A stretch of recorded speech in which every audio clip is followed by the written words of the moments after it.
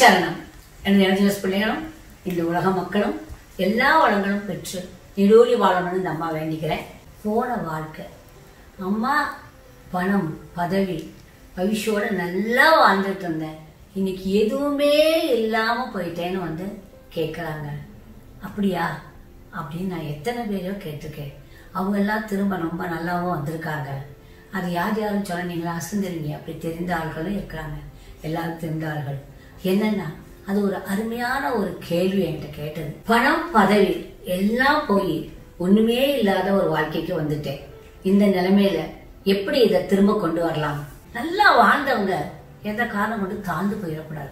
அந்த வாழ்க்கை. புரிஞ்சுதா? இதுக்கு ஒரு கதை கூட நான் சொல்லியிருக்கிறேன். ஒரு சுவாமிஜிட்ட வந்து கேட்டாராம். ஒரு பெரிய தன்வந்த கரம்புய எல்லாம் வச்சு படுத்த ஆள் ரொம்ப எல்லாம் வச்சிருந்தாரு. எல்லாம் போச்சு. லாஸ். லாஸ்ங்கிறது எப்படி வேணுமாலும் வரலாம். பல கோடிகளுக்கு தடுக்குன்னு வரும். அப்படி வந்துட்டு ஒண்ணுமே இல்லாம போய் கடைசியா என்ன பண்ணாரு மனைவி மக்களும் கூட என்ன பண்ணிட்டாங்கன்னா அவங்க அம்மா விட்டு போயிடுச்சுங்களாம் என்ன பண்றதுன்னு தெரியாம அவர் வந்து பக்கத்துல இருக்கிற ஒரு சுவாமிஜியை பார்த்தாராம். அந்த சுவாமிஜி சொன்னாராம் உன்கிட்ட விலைமதிக்க முடியாத ரெண்டு விஷயம் இருக்குய்யா பொக்கிஷத்தை நீ வச்சுக்கிட்டு இருக்க. அதை வச்சுக்கிட்டு நீ ஏன் கவலைப்படுற? அப்படின்னா இவருக்கு தாங்கலையா நான் பொக்கிஷன் நான் வச்சிருக்கேன் சார் உயிரைத்தான் வச்சிருக்கேன் சாமி. வேற ஒன்றும் என்கிட்ட கிடையாது அப்படின்னா என்ன சொல்ற? உன்கிட்ட பொக்கிஷம் இருக்குன்னு உனக்கு புரியலையா? நான் சொல்றேன் கேட்டுக்கோ. நான் வந்து அவன் சொன்னான் நான் இப்ப இருக்கிற நிலைமை என்னன்னா நான் நான் வந்து தற்கொலை பண்ணிக்கலாங்கிற நிலைமையில இருக்கேன்.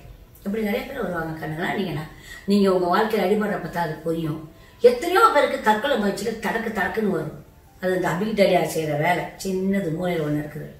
அப்படியே நம்மளால தாங்க முடியலன்னு நம்ம தற்கொலை பண்ணிக்குவோமே அப்படின்னு தோணும். தற்கொலை பண்ணிட்டா மட்டும் என்ன தீர்ந்து போறோமா நீ என்ன யோசிக்க வேண்டாமா? இதை எப்படி வந்து இதை ஜெயிக்கணும் தானே யோசிக்கணும். எதுக்காக தற்கொலை யோசிக்கணும்? அந்த ஆள் சொன்னாங்க நான் தற்கொலை தான் எனக்கு கடைசி முடிவு. எனக்கு முன்னால் உங்களை பார்த்து போலான்னு வந்தேன் அங்கேயே பெரிய விஷயம் இருக்குப்பா அப்படின்னாரு. இல்லை என்னன்னா இப்போ வரீங்க அம்மா உங்கள்கிட்ட ஒன்று கேட்குறேம்மா. இது இந்த கேள்வியெல்லாம் கேட்டிருக்கீங்கன்னா அப்போ என்ன அர்த்தம்? இத்தனை கேள்விகள் நிறையா பேர் என்கிட்ட கேட்டதை தான் உங்கள்கிட்ட நான் கேட்டிருக்கேன். அப்போ உங்கள்கிட்ட ஏதோ ஒரு பொக்கிஷம் இருக்கு. எல்லார்கிட்டையும். கேள்வி கேட்ட அத்தனை பேர்ட்டையும் எந்த பொக்கிஷம் அப்படின்னா தன்னம்பிக்கை. இந்த மாப்பிட்ட போனால் நடக்கும். இல்லையா? அந்த சாமியார் சாமியார்கிட்ட போனால் நடக்கும். புரிஞ்சுதா? அப்போ அந்த தன்னம்பிக்கைன்னு ஒன்று வச்சுருந்தாங்க. இல்லாட்டா செத்து போயிருப்பாங்க. இல்லை? எங்கிட்ட நான் பேர் சொல்ல விரும்பலை. ரெண்டு பேர் வந்தாங்க. முதல் கிளாஸில் வந்து அம்மா நான் சூசைட் பண்ணிக்க போகிறேன் அதுக்கு முன்னாடி உங்களை பார்த்துட்டு சூசைட் பண்ணிக்கலாம்னு போனேன். வந்தாப்புல. அவார்ட் பெரிய ஆயிட்டு நல்லா ஆயிடுச்சு உடனே அதே மாதிரி கேஸ் இன்னொருத்தன் வந்தோடனே கொஞ்சம் இரு நான் அவளை உனக்கு அறிமுகப்படுத்த.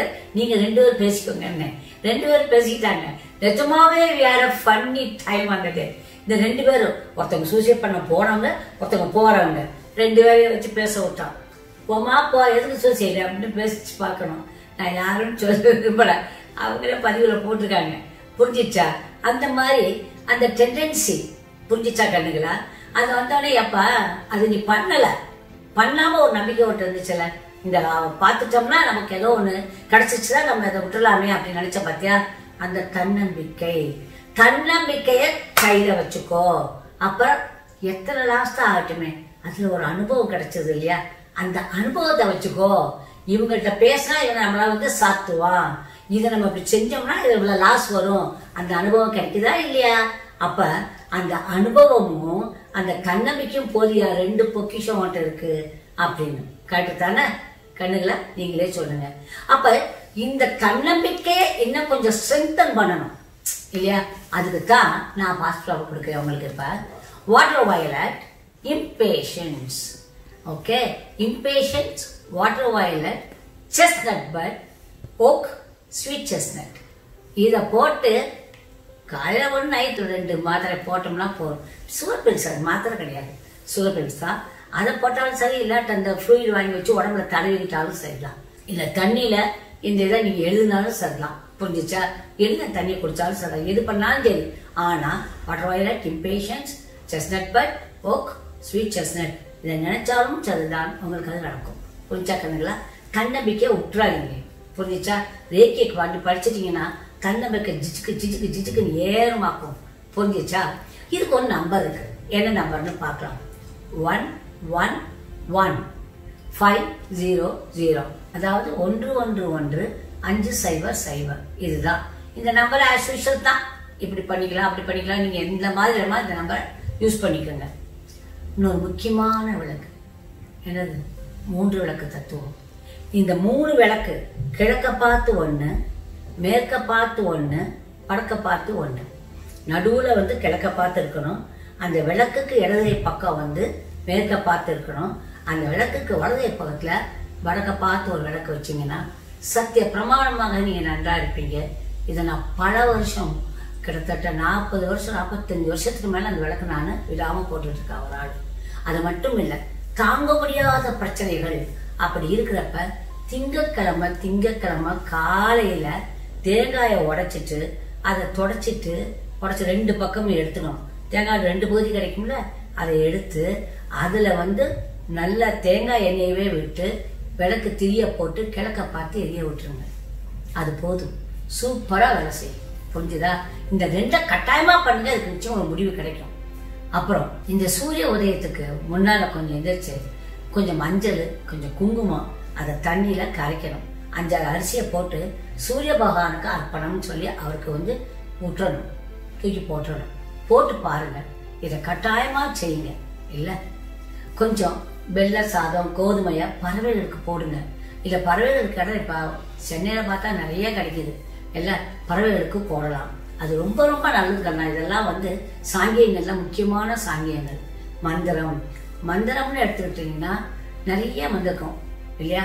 மேற்கு பக்கம் பார்த்து உட்காந்து நீங்க ஒரு ரெண்டு மந்திரம் சொல்லணும். என்னன்னா ஓம் ஸ்ரீ சனீஸ்வராய நமக ஓம் சாந்தாய நமக ஓம் சர்வபீஷ்ட பிரதாயனே நமக. இந்த சொன்னீங்கன்னா போதும். அந்த மந்திரம் வரும். இந்த மூணு மந்திரத்தை செங்க எந்த பக்கம் பார்த்து சொல்லணும்னு இருக்கு மேற்கு பக்கம் பார்த்து உட்கார்ந்து சொல்லணும். அவ்வளவுதான். சிஜில் ஒன்று கொடுத்துருப்பாங்க. அதை காமிப்பாங்க. இந்த பாருங்க. இதை நீங்களாவே வரைஞ்சுக்கலாம். இந்த சிஜில வரைஞ்சிங்கன்னா இல்லை உங்களுக்கு அருமையான எஃபெக்ட் கிடைக்கும். இது இதை துர்க்கையா வச்சு ஹோம் தும் துர்காய நமக அப்படின்ட்டிங்கனாலே போதும். ஓம் தும் துர்காய நமக அப்படின்னு சொல்லிட்டு இதை வேண்டிக்கிட்டீங்கனாலே போதும் நடக்கும். சரிதானா? அடுத்தது ஒரு முத்திரை. இந்த முத்திரை எப்படின்னு பார்ப்போம். உங்களுடைய பெருவிரலை இப்படி சேர்த்துக்கிறீங்க. அப்போ நடுவரில் சேர்க்குறீங்க. இந்த இண்டெக்ஸ் ஃபிங்கர் நம்ம ஆள்காட்டி விரல் இருக்குல்ல அதை இதனுடைய கோடு வரல அந்த இடத்துல இப்படி மடக்கி வச்சுக்கிறீங்க. இதை மடக்கிடுறீங்க. இதை கிராஸ் பண்ணிடுறீங்க. இதை கிராஸ் பண்ணி இப்படி வச்சுக்கிறீங்க. பாருங்க இந்த ரெண்டு இந்த ரெண்டு இது இது இது. அவ்வளோதான் இதை வச்சுக்கிட்டு நீங்கள் வேண்டிக்கணும்.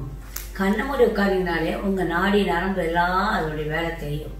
அப்படி உட்காந்து அந்த வேலையை செய்கிறப்ப அதோட அந்த இதை செஞ்சீங்கன்னா உங்கள் வாழ்க்கையில திருப்பங்கள் சத்திய பிரமாணமாக கிடைக்கும். இன்னொன்று அது வெளியில் கிடையாது. இது இந்த குவானின்.